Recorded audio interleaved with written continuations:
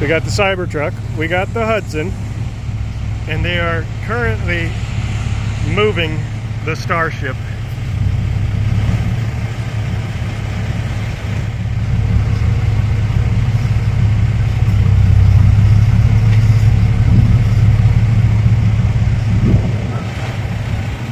Mind blowing.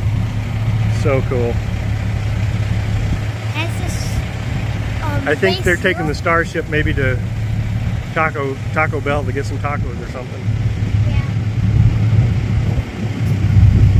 I want to see oh, Camp Zero. I've seen it.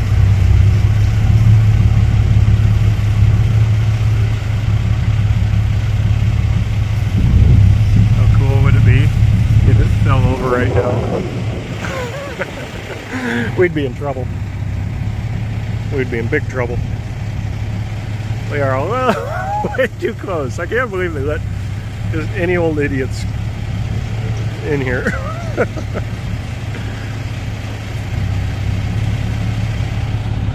and then you got the Cybertruck. This is crazy.